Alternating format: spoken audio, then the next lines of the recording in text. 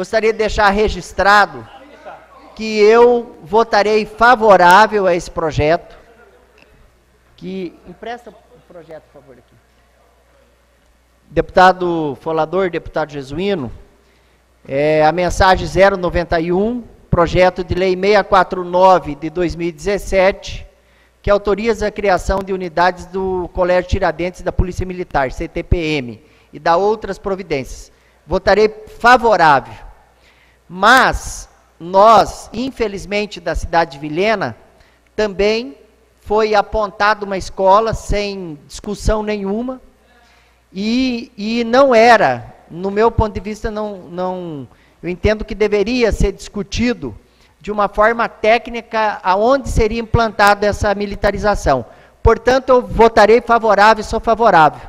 Mas espero também que a mesma condição dada, é, deputada Elcio da TV, o senhor que tem defendido muito a educação do Estado de Rondônia, feito diversas emendas, proposituras, que a mesma condição que, que o governo se dará às escolas militarizadas, que também dê às escolas convencionais do Estado. Por quê?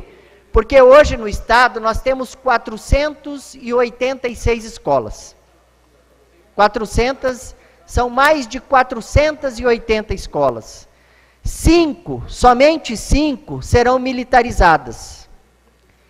E não é justo a gente assegurar o direito para cinco escolas e excluir o mesmo direito a outras mais de 480 escolas. É natural que se tem uma escola que vai ter uma clientela escolar menor, em torno de 500 alunos, com uma condição maior, essa escola tem tudo para ser melhor e ter melhor índices de, de DEB. Portanto, eu acho injusto a gente beneficiar mais uma escola, que serão só cinco, e não beneficiar por igualdade as outras. Até porque eu entendo, no meu ponto de vista, que quem forma o militar é o professor. Quem educa o militar é o professor.